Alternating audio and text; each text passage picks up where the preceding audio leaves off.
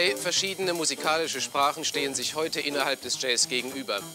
Einmal die herkömmliche Art des modernen Jazz, die in den letzten 20 Jahren eine Fülle von Personalstilen einzelner Musiker hervorgebracht hat, aber ihre Grundlagen nur unwesentlich änderte. Nennen wir sie einstweilen verständlichen Jazz. Zweitens eine ganz neue musikalische Sprache, die die herkömmlichen Gesetze des Klanges über Bord geworfen hat und im leeren Raum Freiheit sucht. Diese Sprache ist sehr umstritten und spricht einstweilen noch ein sehr kleines Publikum an. Man nennt sie New Thing, das neue Ding, oder Free Jazz, freien Jazz. Beide Möglichkeiten stellen wir heute in dieser Sendung zur Diskussion.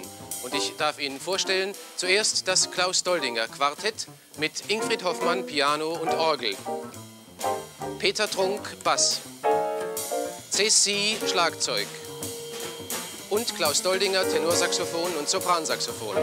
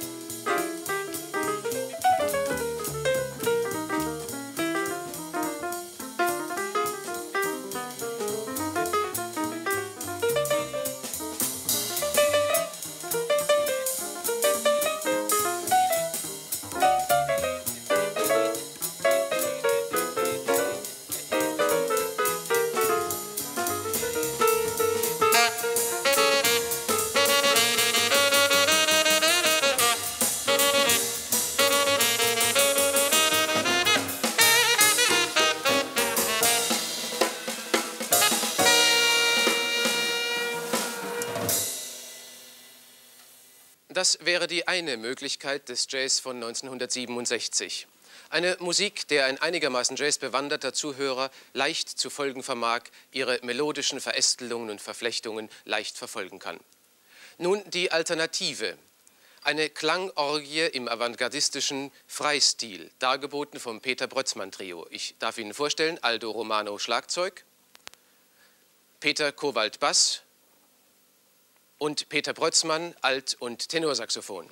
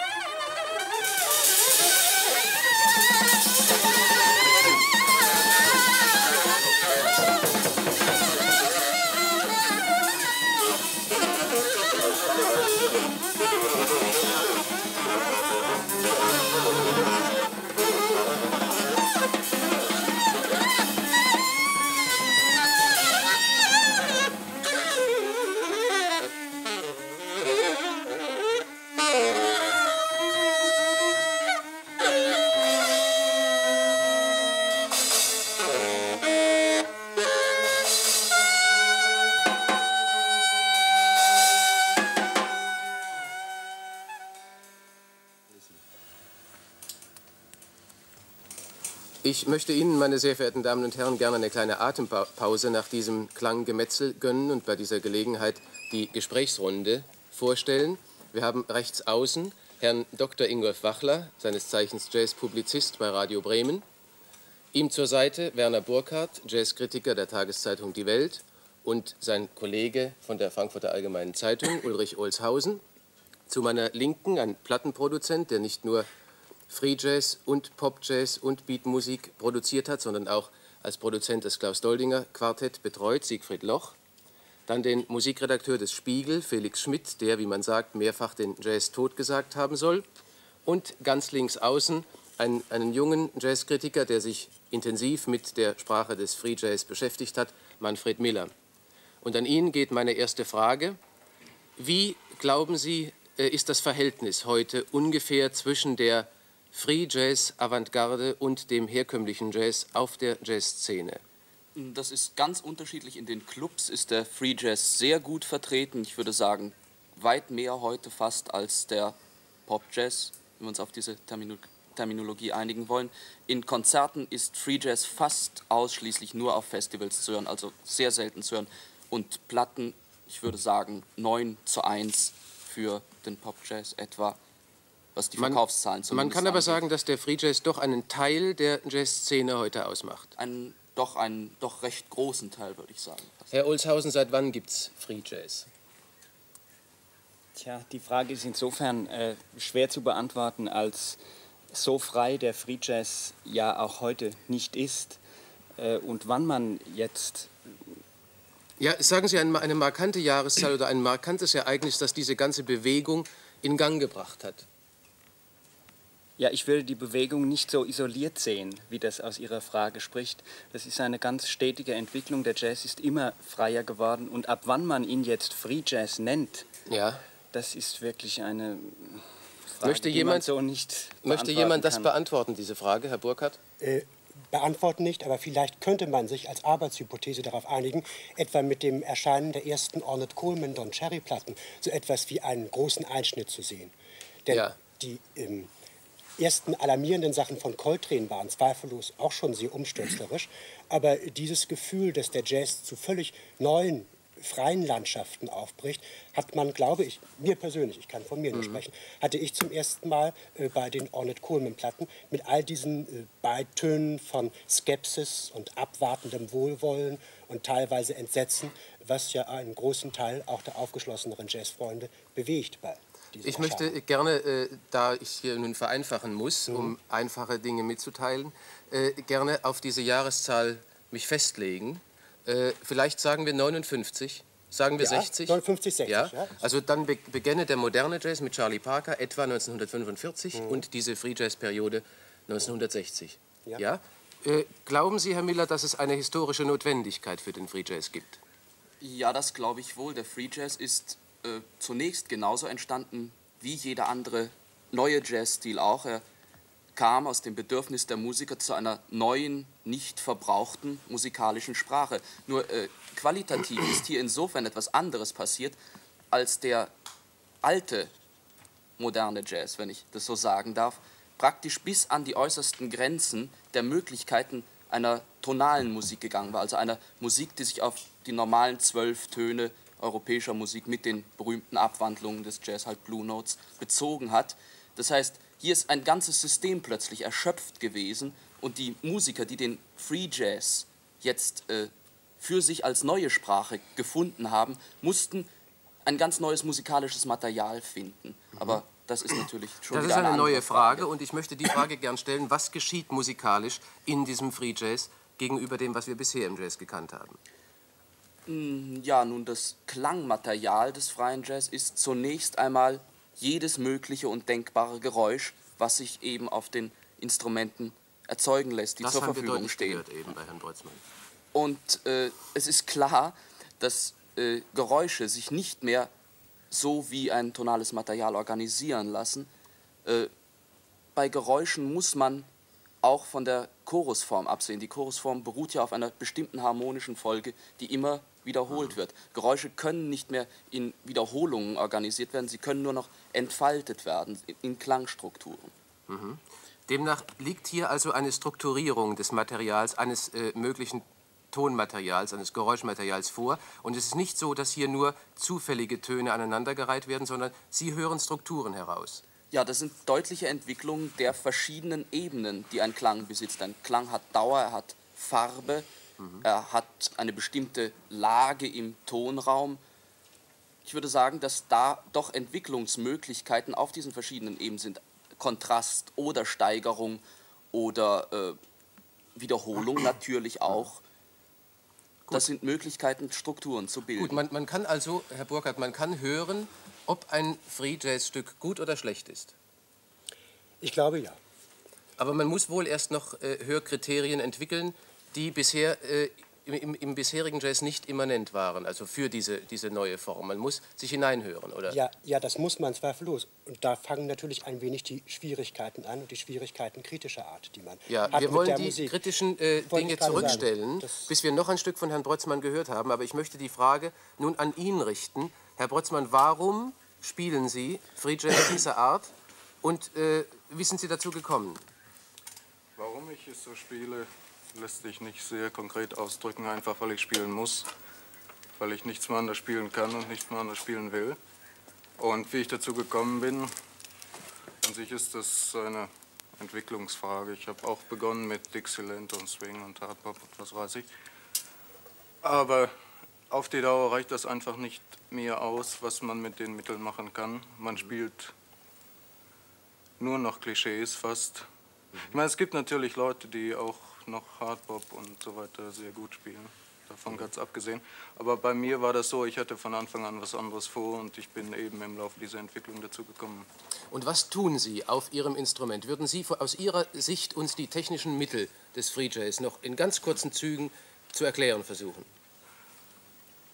Die technischen Mittel sind natürlich anders gelagert als bei, den herkömmliche, bei der herkömmlichen Spielweise.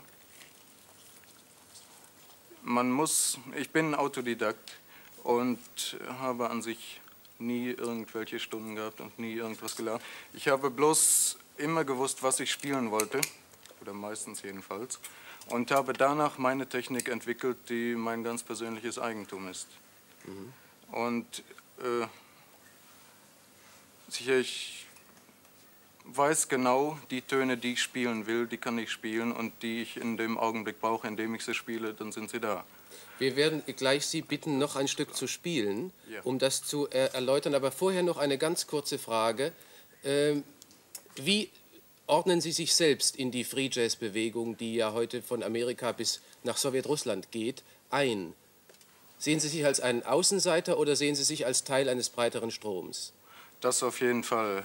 Es gibt Und es gibt also ähnliche technische Entwicklungen, wie Sie sie auf Ihrem Instrument vorlegen, auch bei anderen Musikern. Ja, vielleicht nicht in diesem Extrem, aber die Ansätze sind bei sehr vielen Leuten da. Und äh, andere auch zeigen, dass es mit anderen Möglichkeiten auch geht und dass man auch zu einem Ergebnis kommt. Danke. Dürfen wir jetzt noch ein Stück hören?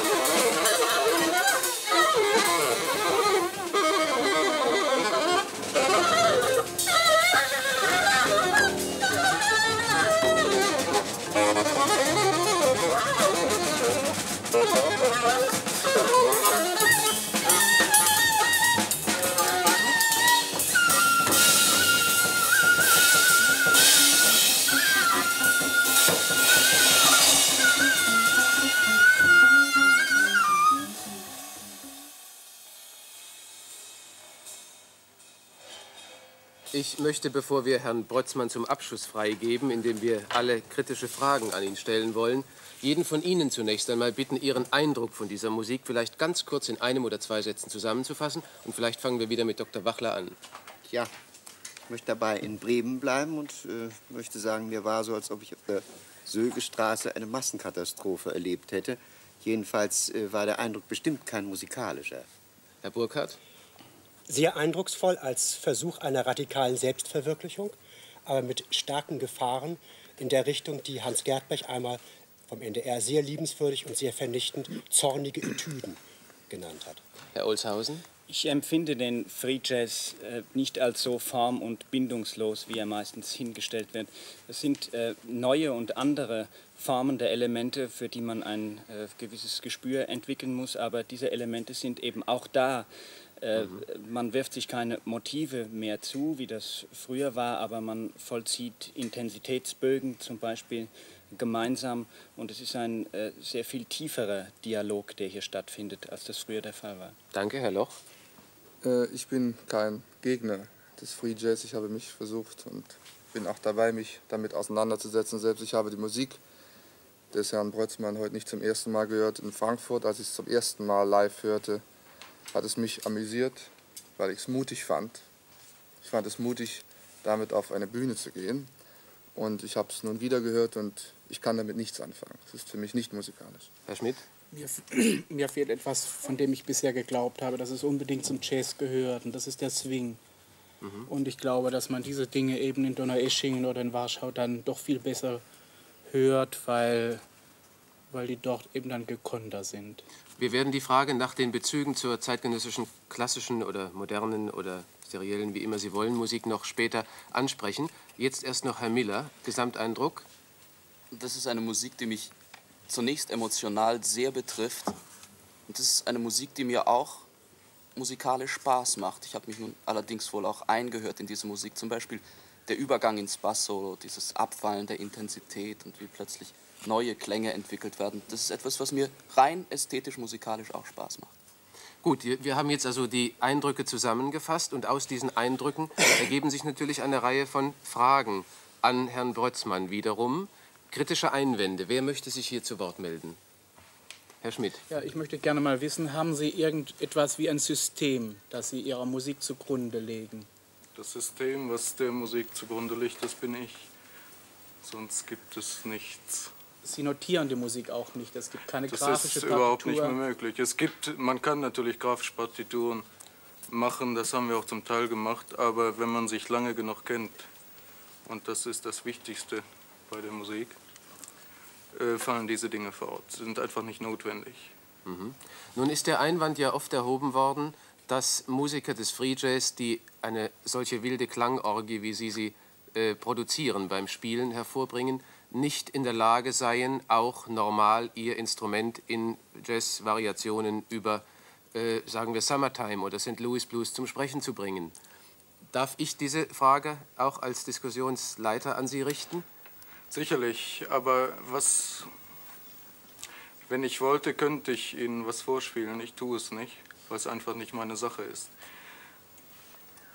Aber diese Frage kommt immer zurück auf die Technik und dann werden immer die Stimmen laut, ja, der Mann, der kann nicht spielen, der hat keine Technik, der hat überhaupt nichts. Und äh, das sind dann die Leute, die nur von sich selbst oder von irgendeinem alten Klischee ausgehen, die sich nicht mal die Mühe machen, einfach sich hinzusetzen einen Abend lang und mal zuzuhören und alles andere, was vorher und hinterher und daneben ist, abzuschalten, einfach mal da sitzen und hören. Das ist das Wichtigste vorerst. Bitte? Herr Boltzmann, ich bin gern bereit, mir die Mühe zu machen. Und ich habe eben diese zwei, drei Minuten Stücke äh, etwa mit viel größerem Vergnügen, auch ästhetischem Genuss gehört, als gelegentlich Dinge, die ich von Ihnen in der gelösteren Atmosphäre des Kellers gehört habe. Denn da, mein Eindruck, nicht, äh, habe ich oft das Gefühl, äh, dass Sie dann, wenn Sie über 20, 25 oder gar 30 Minuten improvisieren und musizieren, auch gelegentlich in jene Dinge verfallen, die Sie äh, anders und traditioneller gebundeneren Formen des Jazz als Klischee vorwerfe. Natürlich, die und, Gefahr besteht bei jedem. Da schließe ich mich absolut nicht aus, natürlich nicht. nicht. Und ich weiß nicht, wo Sie mich gehört haben. Man Ach, in, in Berlin und also Mhm. Naja, in sind Berlin habe ich nicht Dr. mit meiner Gruppe gespielt. Ja, eine andere Frage, Herr Brötzmann. Sie sagten, Sie sind sozusagen selber Maß aller Dinge. Meinen Sie nicht, das dass Kunst... Nicht doch, Sie sagten, Sie selber wären sozusagen das Zentrum des Systems. Meinen ja, Sie, natürlich Systems, bin ich das System Systems, meiner Musik, natürlich. Aber es geht doch auch um Objektivierung, nicht? Nicht sehr. Ach so. Mhm. Äh, Herr Miller sagte vorhin, dass der Free Jazz eine, äh, eine eigentlich normale Entwicklung sei, dass die Musiker glaubten, ein neues System finden zu müssen, um aus, dem, aus den Klischeevorstellungen herauszukommen. Bringen Sie das auch für sich in Anwendung? Meinen Sie, dass Sie mit den Mitteln, die der herkömmliche Jazz, wenn man es mal so sagen darf, ich möchte nicht sagen populärer Jazz, weil ich nicht der Meinung bin, dass Jazz überhaupt populär ist, sind Sie der Meinung, dass Sie mit den normalen Möglichkeiten, die der Jazz ihnen bietet als Musiker, nicht auskommen und deswegen ausgebrochen sind in den Free Jazz? Natürlich, äh, es ist bei den Musikern so, zum größten Teil so, die vor mir liegen. Also das ist zwar keine Generationsfrage, aber es ist tatsächlich zwischen Dolding und mir eine, doch eine Generationsfrage. Die paar Jahre dazwischen spielen keine Rolle. Aber die Leute sind groß geworden mit irgendwelchen Vorbildern und äh, sind sich nie der Aufgabe äh, bewusst geworden, die man hat, sich selbst und der Gesellschaft gegenüber. Und da ist überhaupt der grundlegende Unterschied des Free Jazz zum äh, herkömmlichen Jazz. Herkömmlichen Jazz mhm. da. Und das ist der hauptsächliche Punkt an, der ganzen, äh, an dem ganzen Wechsel und an der ganzen Umformung. Ja, Herr Olshausen. Herr Brötzmann, die äh, modernen Musiker die so ähnlich spielen wie Sie, sind äh, im Allgemeinen sehr stolz darauf, dass sie einen sehr intensiven Dialog pflegen in ihrer Musik und sie nennen ihre Platten auch so, sie nennen sie Dialog oder Interplay oder Kommunikation. Worin äh, besteht Ihrer Ansicht nach in Ihrer Musik das Gemeinsame, das Verbindende äh, zwischen Ihnen und den anderen Musikern, die mit Ihnen spielen?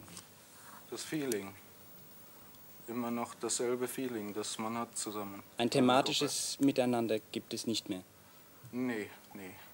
Also wenn ich recht verstanden habe, ich stelle mich jetzt mal auf die, den Standpunkt von Hänschen Klein. Sie spielen jeder für sich. Und doch glauben Sie, dass eine einheitliche Musik, die eine einheitliche Gesamtaussage von allen dreien hervorbringt, dabei entsteht? Ja, natürlich, weil jeder dasselbe will.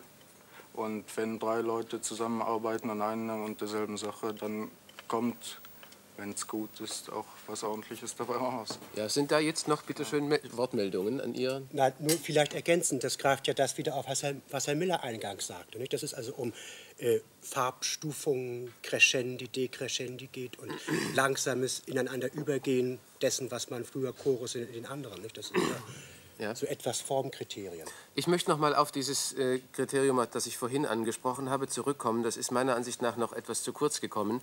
Bisher hat es ja auch in anderen Kunstformen immer gehießen, man äh, müsse zunächst einmal normal Akt zeichnen können, ehe man ein abstraktes Bild malen könne. Äh, gilt das gleiche Argument nicht auch hier für die Musik? Es ist die Voraussetzung, zunächst einmal einen guten Blues-Chorus blasen zu können, ehe man sich darüber hinaus erhebt? Oder umgekehrt, sind nicht auch Musiker, die ihr Instrument gut beherrschen, in der Lage, ohne große Schwierigkeiten Free Jazz ihrer Art hervorzubringen? Ihr, äh, Ihre Antwort hätte ich gerne auf diese Frage und dann wollen wir die gleiche Frage Herrn Doldinger vorlegen. Gut, zum Ersten.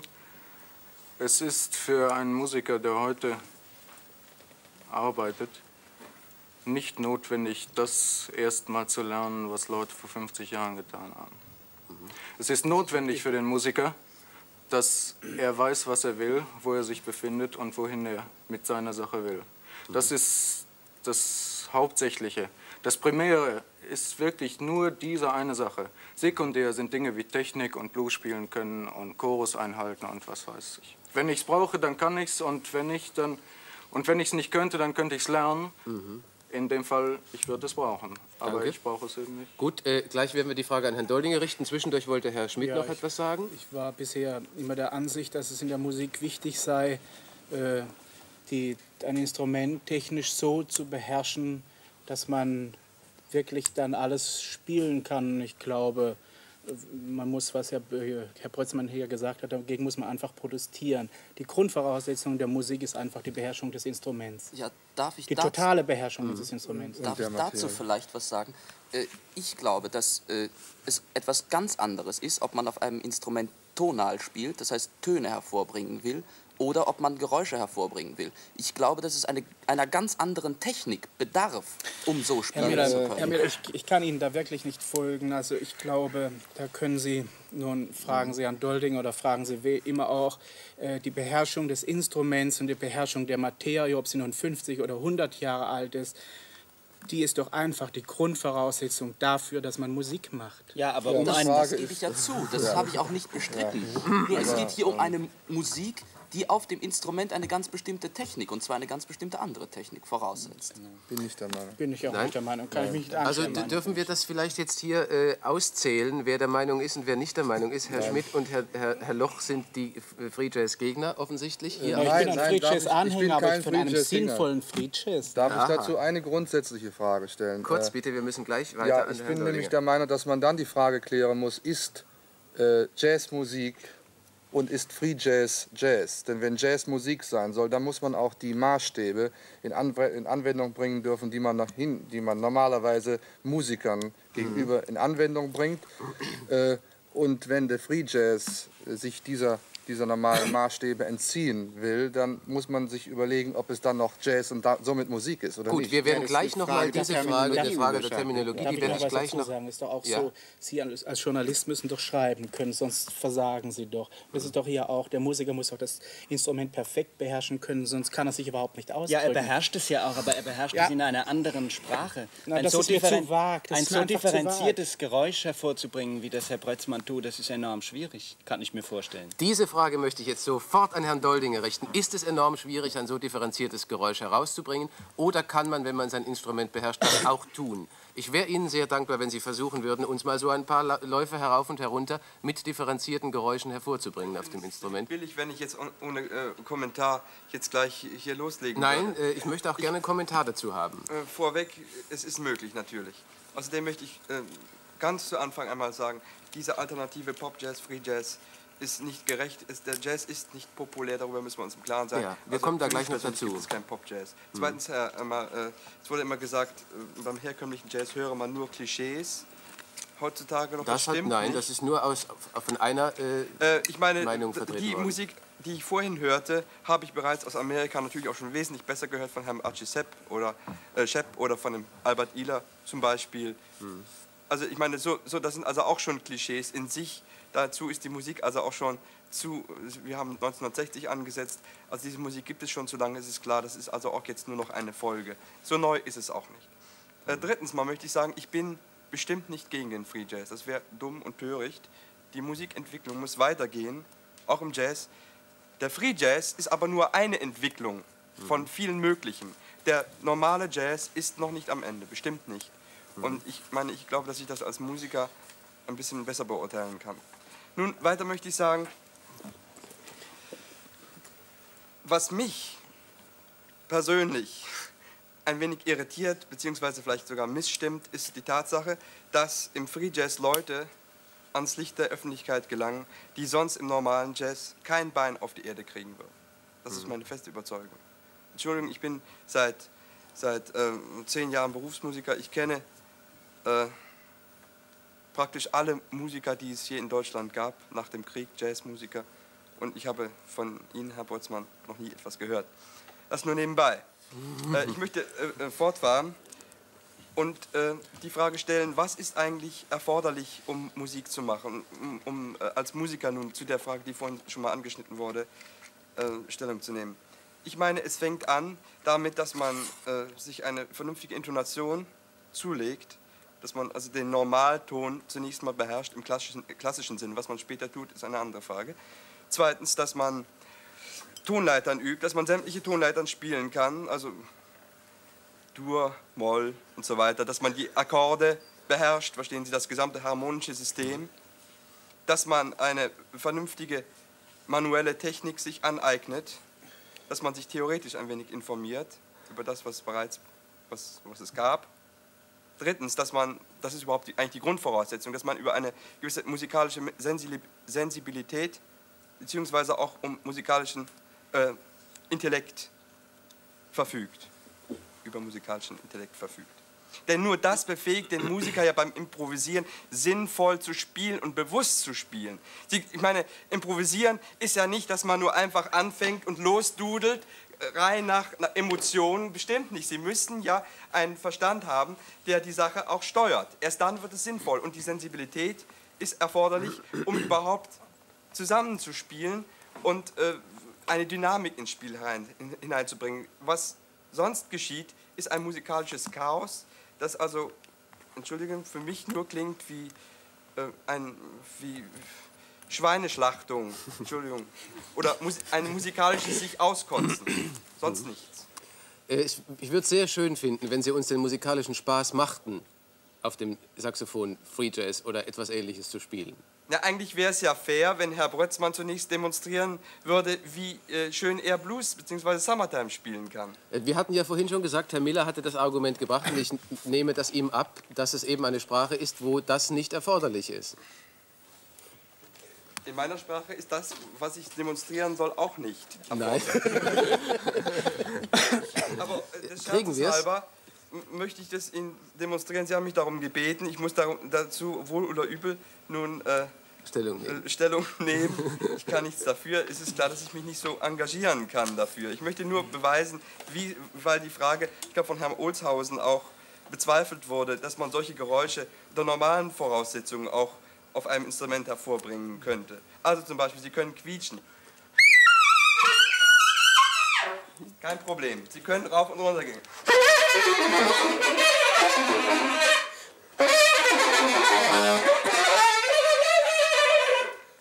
Ja, also ich meine, das ist überhaupt kein Problem. Ich weiß nicht, äh, wer Ihnen erzählt hat, dass, dass man das unter normalen Voraussetzungen als Musiker nicht machen kann. Ich kann das weiter fortführen. Es gibt ja im, im Free Jazz auch Pianisten, die ihr Instrument auf folgende Art und Weise zu spielen pflegen.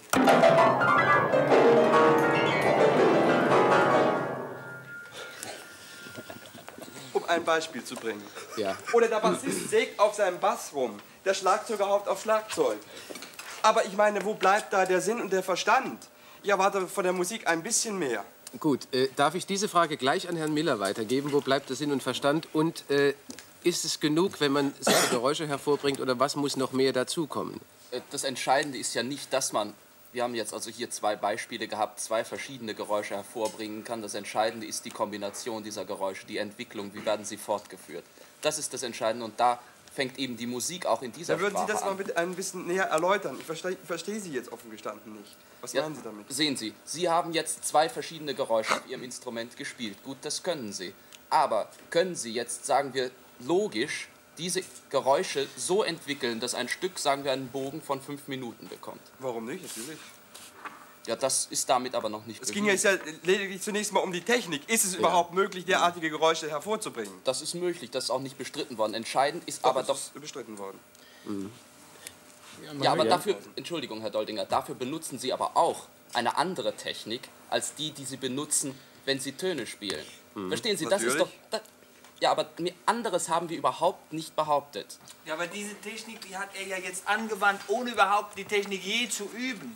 Ja, Nicht? darf ich hier meine, abbrechen? Dann Ich möchte, ist es doch gar keine Technik, wenn einer etwas machen kann, ohne das überhaupt jemals vorher getan zu haben. Ohne Engagement Ohne obendrein. Ich meine, Engagement. Und er kann es auf einmal, dann ist es doch. Also, äh, wir, wir, wollen das, wir wollen das abbrechen. Äh, Ich bin der Meinung, dass die Frage wirklich ausreichend beantwortet ist von beiden Seiten. Hier stehen einfach zwei verschiedene Meinungen einander gegenüber und die sollten wir auch bestehen lassen als Meinungen für sich, die von Herrn Miller und von Herrn ich abschließend Boltzmann. noch was sagen? Ja, ich, ich kurz. bedauere es, mich so in, in Rage ge- äh, geredet zu zu haben. Ich bin im Grunde genommen gar nicht gegen Neuerung, gegen, überhaupt gegen Fortentwicklung. Im Gegenteil, ich bemühe mich auf meine, Art, auf meine bescheidene Art und Weise selber darum. Ja? Mhm. Aber so geht's nicht. Gut, danke. Das war als Statement äh, Schlusswort von Ihnen jetzt in diesem Zusammenhang. Ich möchte Herrn Schmidt, der sowieso noch was sagen wollte, Ja. kurz noch Ich möchte Sie nämlich fragen, Sie sagen immer von dem großen Bogen, den kann ich leider nicht hören, aber wenn Sie schon ihn erkennen, dann können Sie mir vielleicht auch sagen, welches formale Prinzip dieser Mu- Musik von Herrn Brötzmann zugrunde liegt. Nun, also die Form, die entsteht, ist völlig unvorhersehbar. Es gibt keine vorgeformte Form. Es ist genau das Prinzip, das in der ganz avancierten Konzertmusik auch benutzt wird, das Prinzip der Da offenen liegen Form. Sie falsch. In der Konzertsaalmusik, wo Sie sie auch hören, in Donaueschingen oder in Warschau. Und ich spreche von Herrn Cage zum Beispiel. Ja, das ist nun, das ist ein Extremfall. Aber äh, ich, Musik, wenn Sie Musik spielen wollen, dann müssen Sie doch eine bestimmte Form haben. Ohne das geht es doch überhaupt Nein, gar darf nicht. ich, darf ich mal versuchen zu erläutern? Sehr kurz, bitte. Wir sind sehr in- in Zeitdruck äh, schon. Wie hier Form entsteht. Also äh, der Musiker geht aus von, von einem ersten Klang, den er hat. Und jetzt hat er verschiedene Wahlmöglichkeiten, wie er diesen Klang weiterentwickelt. Ja, er kann äh, diesen Klang steigern, dynamisch steigern. Er kann einen Kontrast zu einem, sagen wir, einem langen Ton, einen Kontrast bilden. Er hat jeweils auf jeder Ebene verschiedene Wahlmöglichkeiten, in denen er sich sinnvoll fortbewegen kann. Ja, und das Entscheidende ist, dass jetzt diese Wahlmöglichkeiten ihn natürlich zum Schluss, her, zum Schluss hin immer mehr festlegen.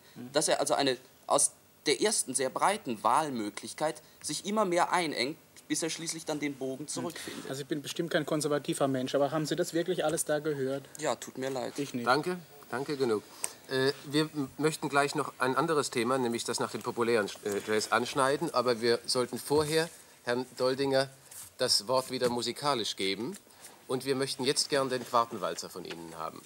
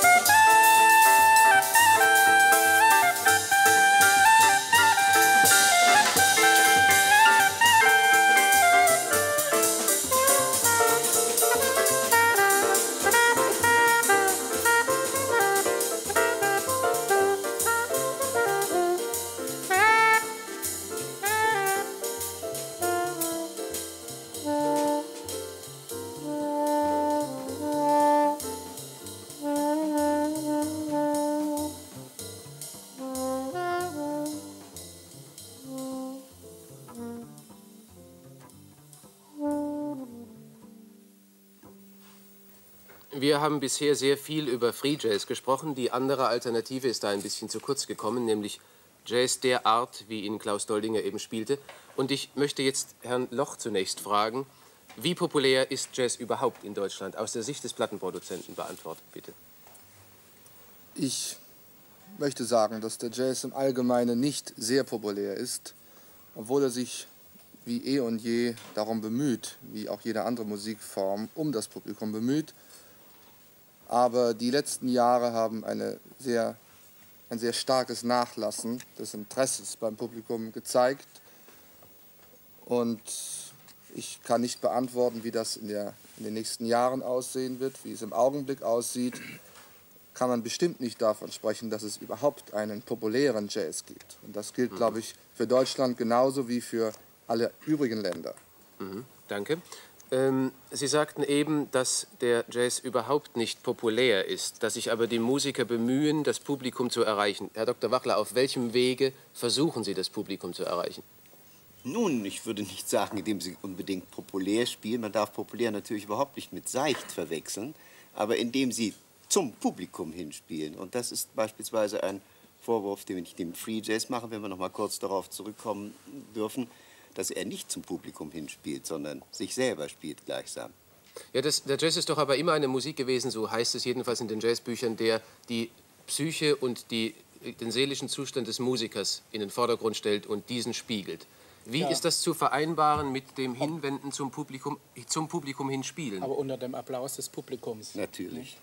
Ja. Natürlich. Herr Burkhardt, dazu eine? Nein, nein, ich bin, bin der Ansicht. Ohne Publikum war es, glaube ich, immer schwierig. Ich glaube, das, Wesen, das Wesentlichste im Jazz hat sich immer im, im Gerade vor einem Publikum äh, abgespielt, im Kontakt zum Publikum. Ja, ja. Und bestimmt nicht hinter verschlossenen Türen. Da kann ja. man üben, aber, mhm. aber nicht musizieren. Das, also ein Wesentliches hat sich natürlich auch nicht im Plattenstudium im Grunde ereignet, sondern immer erst vorher, vor einem Publikum und dann erst auf einem Konzertpodium oder in einem Plattenstudio zum Beispiel. Ich glaube, er will im besten Sinne unterhalten sein. Selbst ein so altmodischer Musiker wie Art Blakey möchte gerne unterhalten, nicht? Ja, äh, wir haben das hier ein bisschen äh, am grünen Tisch im Elfenbeinturm jetzt besprochen. Die Frage betrifft natürlich vor allen Dingen Herrn Doldinger.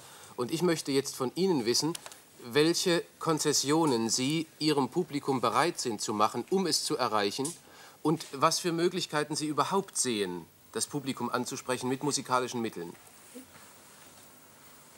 Das sind also mehrere Fragen, nicht? Äh, Konzession, das klingt immer so ein bisschen anrüchig. Äh, mhm. Ich mache, wenn Sie so wollen, gerne Konzessionen, weil ich überhaupt gerne musiziere. Ich habe mhm. Musik studiert. Ich habe mich von frühester Kindheit auf äh, darum bemüht, mein Instrument zu erlernen. Ich habe während meiner Schulzeit in einer Dixieland Band gespielt. Nebenher haben wir musiziert. Wir haben zum Beispiel in einem Trio gespielt, Mozart, mhm. das Kegelstadt-Trio oder ich habe vierhändig mit Kommilitonen Klavier gespielt und so weiter. Letztlich, es geht halt ums Musizieren und äh, heutzutage gibt es sehr viele Möglichkeiten. Ich meine, gerade dadurch, äh, dass äh, der Rhythm im Blues en vogue ist, äh, ist, besteht natürlich auch die, die Möglichkeit, wenn man schon über die Möglichkeit, selber über die Fähigkeit verfügt, diese Art von Musik zu spielen, mhm eben äh, auch das Publik ein breiteres Publikum zu erreichen über den Rhythm and Blues, der ja nicht, letzt, äh, nicht zuletzt auch eine der Quellen des modernen Jazz ist. Ich meine, wie Sie alle mhm. wissen, Charlie Parker hat äh, eine Art Rhythm and Blues Band gespielt oder John Coltrane. Mhm. Ich meine, das sind also die Quellen des modernen Jazz und warum soll man nicht einmal auf die Quelle zurückgreifen, wenn man als Musiker die Fähigkeit besitzt, dieses zu tun. tun und das auch noch mit Freude zu tun. Äh, es ist eine Sache, wenn Sie neben dem Jazz Mozart spielen, einerseits oder andererseits Beat spielen. Das berührt äh, Ihre Beat, Rhythm and Blues. Rhythm and Blues. Das berührt Ihre Position als Jazzmusiker kaum, weder das eine noch das andere. Wenn Sie aber Nein, ich halte äh, mich nicht für ein Genie. Ich will nur Musiker sein. Genau, aber wenn Sie nun Jazz spielen, wie weit glauben Sie, können Sie dem Beat-Publikum, dem, dem modischen Publikum, das äh, auf der Rhythm and Blues Welle liegt, musikalisch entgegenkommen, ohne den Jazz aufzugeben? Ich möchte die ja, Frage also, gern musikalisch beantwortet ich bin haben. Der, Überzeugung, dass, dass wir, selbst wenn wir Konzessionen machen, in Anführungszeichen, in dass wir dann das normale Publikum natürlich nicht erreichen. Das ist auch nicht ja. Sinn der Sache. Darum geht es uns ja auch gar nicht. Es ist nur so, dass man eben auch mal eine fröhliche Musik spielen möchte, mhm. eine, eine fröhlichere als die als nur anspruchsvolle äh, Balladen oder Konzertjazz. Stücke mit anspruchsvollen Changes-Akkordfolgen. Ja. Nicht? Ich meine, das war ja schon von jeher so, im Barockzeitalter, die, die äh, Komponisten haben ja auch Tafelmusiken geschrieben, die also wirklich nicht anspruchsvoll waren. Warum soll man heutzutage nicht auch mal in einem etwas anspruchslosen Rahmen musizieren dürfen? Sie spielen aber auch Rhythm and Blues anspruchsvoll und darum möchte ich Sie jetzt bitten.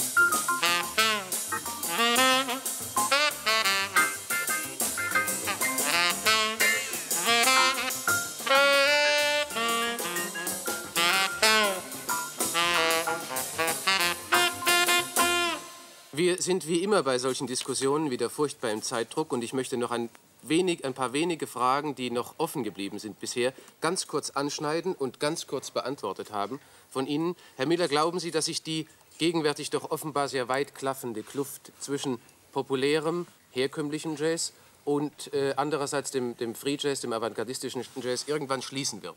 Ganz kurz bitte. Ich glaube, sie ist sogar schon dabei, sich zu schließen. Die äh, Pop-Jazz-Musiker, wenn man so sagen darf, nehmen in zunehmendem Maße auch Mittel des Free Jazz auf. Und es gibt inzwischen auch Gruppen, die vom Free Jazz herkommen, die also wieder doch mehr mit durchlaufendem Rhythmus und solchen Dingen spielen. Ich glaube, dass doch hier eine Mitte da ist und schon im Beginn ist, sich zu entwickeln. Herr Olshausen, glauben Sie, dass sich mit Mitteln des herkömmlichen Jazz auch über die gegenwärtige Situation des Jazz hinauskommen lässt, dass also der Free Jazz nicht die einzige Alternative wäre?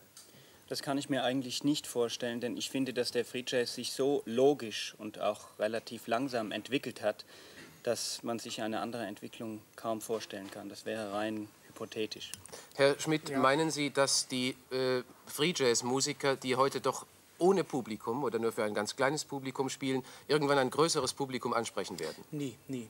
Das wird nicht, äh, es wird nicht geschehen. Es gibt auch eine Parallele zur sogenannten Kunstmusik. Wir leben in, zum ersten Mal seit der Renaissance in einem Zeitalter, wo, das, wo die Musiker so total vom Publikum getrennt sind, wie eben noch nie. Und ich glaube, erst wenn sich diese Kluft schließt, und die kann sich nur schließen, in der Kunstmusik und im Free Jazz, auf dem Rückweg zur Tonalität, dann erst, äh, glaube ich, stimmen die Dinge wieder. Äh, ist das auch Ihre Meinung oder meinen Sie, dass diese beiden Dinge so auseinanderklaffen bleiben oder glaub, ob sie sich schließen? Ich glaube nicht, dass sie so, aus, dass sie so auseinanderklaffen.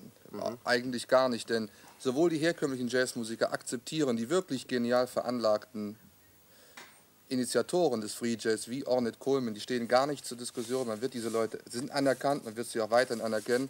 Und ich glaube, dass Musiker wie George Russell, die vom, eigentlich vom normalen Jazz herkommen, bereits zu einer Form gefunden haben, die für alle praktizierenden modernen Jazzmusiker akzeptabel sind und sie sich alle auf diesem Weg einigen können. Mhm. Letzte Frage an Dr. Wachler und Werner Burkhardt. Wohin meinen Sie, wird sich der Jazz entwickeln? Ja? Ja, bitteschön. Schwer zu sagen. Äh, ich glaube auch, dass im Free Jazz Möglichkeiten sind. Vielleicht nicht, Herr Schmidt, unbedingt durch Rückkehr zur Tonalität, sondern dadurch, dass, wie Herr Loch sagt, sich gewisse formale Dinge festigen und leichter überschaubar sind. Ja. Etwa in Deutschland haben wir das Manfred Schof Quartett, mhm. äh, Quintett, das diese Dinge praktiziert. Und dann hoffe ich, dass der Blues nebenbei auch immer noch eine erfreuliche Rolle, spielen wird. Ich bin für den äh, Free Jazz beinahe etwas optimistischer als Herr Miller. Denn das, was er angedeutet hat, ist eigentlich der Tod des Free Jazz. Ich glaube eher, dass er tatsächlich selbstständig nebenher weiter bestehen wird, aber nur nebenher, neben vielem anderen. Und ohne Publikum, nicht? Und ohne Publikum. Das ja. ist sein Unglück. Meine sehr verehrten Damen und Herren, Sie werden sicher gemerkt haben, dass wir Ihnen mit dem Free Jazz des Brötzmann-Trios keine Experimente von hoffnungslosen Außenseitern gezeigt haben, sondern dass wir Ihnen doch versucht haben, eine Diskussion nahezubringen, die heute in der ganzen Jazzöffentlichkeit geführt wird, die eine große Rolle spielt äh, für den Jazz, für die Weiterentwicklung des Jazz und das heutige Jazzleben und die vielleicht auch, wie die Schlussbemerkung von Herr, Herrn Dr. Wachler zeigte, äh, für die Weiterentwicklung des herkömmlichen Jazz eine Rolle spielen wird. Wir hatten vor, diese Sendung mit einem versöhnlichen Akzent zu schließen. Und wir hatten vor, beide Gruppen, das Brötzmann-Trio und das Klaus-Doldinger Quartett, zusammenspielen zu lassen. Aber beide musikalischen Sprachen klaffen doch im gegenwärtigen Stadium noch so weit auseinander, dass das weder praktikabel noch vielleicht auch menschlich möglich war. Wir möchten also anstelle der ansonsten in solchen Diskussionen üblichen Schluss-Jam-Session eine Aufeinanderfolge von noch einmal zwei kurzen Auftritten des Brötzmann-Trios und des Klaus-Doldinger Quartetts stellen, die ineinander übergehen. Wenn es überhaupt ein Fazit für diese Diskussion geben sollte, dann wäre es doch meiner Ansicht nach, wenn ich mir dieses Schlusswort erlauben darf, dieses, dass die Jazzszene gegenwärtig in zwei Teile, in zwei Lager auseinandergebrochen ist, die vielleicht einmal wieder zueinander finden. Das wird aber indes die Zukunft erweisen müssen. Oh.